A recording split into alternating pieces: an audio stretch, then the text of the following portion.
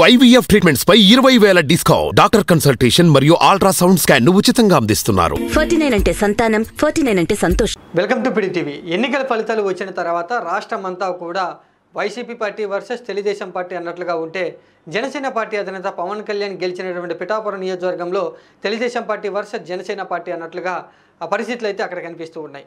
రాష్ట్రం అంతా కూడా ఒక రకంగా ఉంటే పిఠాపురం నియోజకవర్గంలో ఒక రకంగా ఉంది. ఎన్నికల్లో కలిసి పనిచేసినటువంటి తెలుగుదేశం జనసేన పార్టీలు ఇప్పుడు ఎన్నికలు అయిపోయిన తర్వాత ఫలితాలు వచ్చిన తర్వాత రెండు వర్గాలుగా విడిపోయి పెద్ద ఎత్తున కూడా ఆ కొట్లాటకు దిగుతున్నటువంటి పరిస్థితి అయితే కనిపిస్తూ ఉంది. రెండు రోజుల క్రితం పిఠాపురంలో Telugu Desam party versus Janasena party అన్నట్లుగా రాళ్ళు కత్తులు సీసాలతో కూడా దాడి చేసినటువంటి పరిస్థితి కనిపిస్తే నిన్నటి రోజున ఒక ఆలయానికి సంబంధించి నిర్వహణ బాధ్యతల కోసం తెలుగుదేశం జనసేన పార్టీ వాళ్ళు రెండు వర్గాలకు విడిపోయి ఆలయ నిర్వహణ మాకు కావాలి అంటే మాకు కావాలి అంటూ కూడా రెండు వర్గాలు రెండు పార్టీలు కూడా కొట్లాడుకునే పరిస్థితి అయితే రావడం జరిగింది. ఒకసారి చూస్తే పిఠాపురం నియోజకవర్గంలో పరిస్థితి ఏ విధంగా ఉంది? ఎందుకు అని అంటే జనసేన పార్టీ అధినేత పవన్ కళ్యాణ్ అక్కడ పోటీ చేస్తూ ఉండడంతో తెలుగుదేశం పార్టీ మాజీ ఎమ్మెల్యే విఎస్ఎన్ వర్మ అయితే ఆ సీటుని త్యాగం చేసి పవన్ కళ్యాణ్ గెలుపు కోసం ఆయన పనిచేయడం జరిగింది.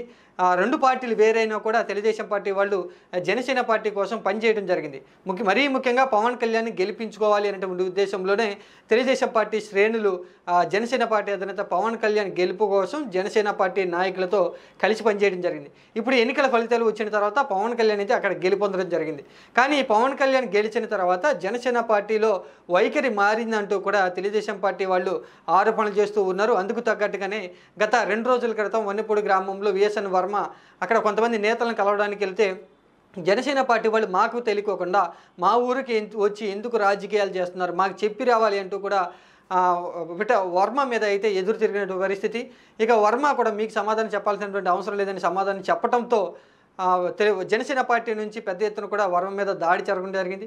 వర్మ అనుచరుల మీద కూడా రాళ్ళతో కర్రలతో దాడి చేసినటువంటి పరిస్థితి. ఆ దాడిలో వాహనాలు కూడా దెబ్బతిన్నాయి. ఈ సంఘటన అంత ఈ సంఘటన మీద అంతా కూడా వర్మ స్పందిస్తూ పవన్ కళ్యాణ్ గెలుపు కోసం పనిచేస్తే మా మీద జనసేన పార్టీ వాళ్ళు దాడి చేస్తున్నారు.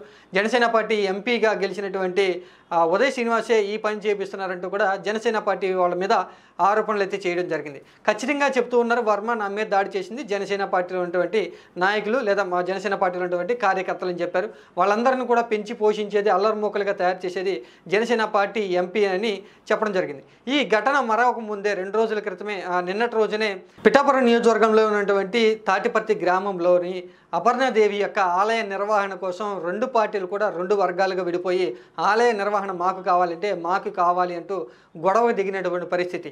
ఎందుకంటే ఆ అపర్ణాదేవి యొక్క ఆలయంలో చాన్నాళ్ళ నుంచి కూడా కొంత ఆచారం అయితే వస్తూ ఉంది. రాజకీయంగా ఏ పార్టీ అధికారంలో ఉంటే అక్కడ ఎవరు గెలిస్తే కనుక వాళ్ళే ఆ యొక్క ఆలయ నిర్వహణ అయితే చూడాలి. ఇప్పటివరకు కూడా వైసీపీ పార్టీ ఐదు సంవత్సరాలు ఉంది కాబట్టి ఆలయ నిర్వహణని వైసీపీ పార్టీ నాయకులు అయితే చూడడం జరిగింది. ఇప్పుడు పార్టీ మారిపోవడంతో అధికారం మారిపోవడంతో అక్కడ వైసీపీ పార్టీ నుంచి బాధ్యతలు అప్పగిచ్చేస్తాం ఖచ్చితంగా ఆలయం వద్దకు రండి అంటూ రెండు పార్టీ వాళ్ళకి కూడా వైసీపీ పార్టీ శ్రేణులు సమాచారం ఇవ్వడం జరిగింది.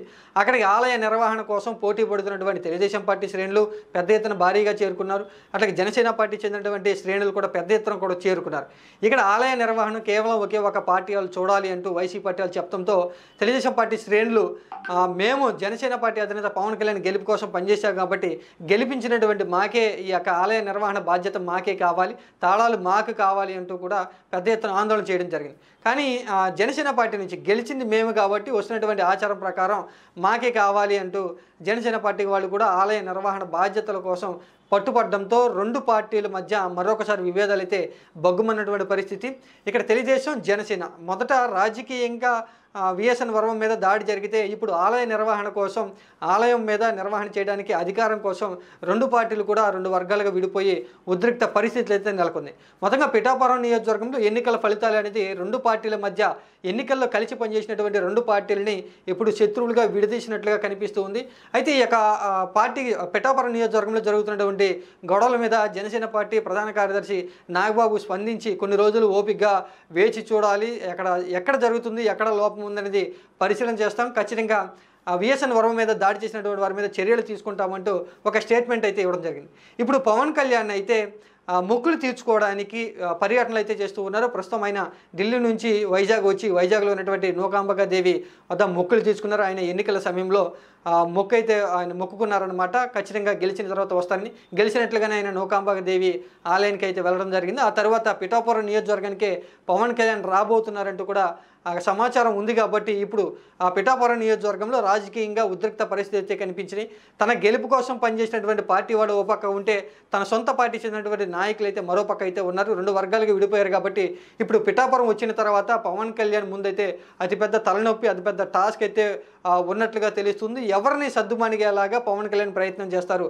ఎవరిని లేకపోతే కొంత సమయం పాటించండి అని కోరతారు. తెలుగుదేశం పార్టీ వలన తన గెలుపు కోసం పనిచేసిన వలన లేదా ఆయన గెలుపును అంటే కంటిన్యూ చేయాలి. లేకపోతే ఆయన గెలుపు మీద పిఠాపురం నియోజకవర్గంలో అధికారం చేయాలని చూసినటువంటి జనసేన పార్టీ వాళ్ళని సైలెంట్గా ఉండమని పవన్ కళ్యాణ్ ఎవరికి సలహా ఇస్తారు అనేటువంటి విషయం గురించి ఇప్పుడు అంతటా కూడా ఆసక్తి అయితే నెలకొంది.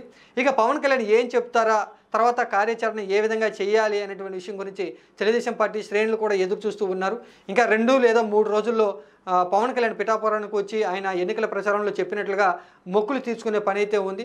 ఆ మొక్కులు తీర్చుకుని వచ్చేటువంటి పర్యటనలోనే పవన్ కళ్యాణ్ ఈ వివాదాలను పరిష్కరించాలి అనేటువంటి ఉద్దేశంతో అక్కడ పిఠాపురం నియోజకవర్గంలో పెద్ద ఎత్తున కూడా డిమాండ్ అయితే వస్తుంది తెలుగుదేశం పార్టీ శ్రేణులేమో పవన్ కళ్యాణ్ గెలుపు కోసం పనిచేస్తే మాకు అధికారం ఇవ్వట్లేదు అలాగే మా మీద దాడులు చేస్తున్నారంటూ తెలుగుదేశం పార్టీ శ్రేణులు చెప్తుంటే జనసేన పార్టీ వాళ్ళు ఇక్కడ ఈ నియోజకవర్గంలో మేము గెలిచాం కాబట్టి అధికారం మాకు కావాలి పెత్తనం మాకు కావాలంటూ జనసేన పార్టీ శ్రేణులు చెప్తున్నారు. ఇక ఈ రెండు పక్షాల పక్కన వాదనలు విన్న తర్వాత పవన్ కళ్యాణ్ ఏ విధంగా నచ్చ చెప్తారు ఎవరికి నచ్చ చెప్తారు ఎవరికి అనుకూలంగా నచ్చ చెప్తారు అనే విషయం నుంచి ఇప్పుడు పెద్ద టాస్క్గా అయితే పవన్ కళ్యాణ్ ముందు ఉన్నట్లుగా తెలుస్తుంది.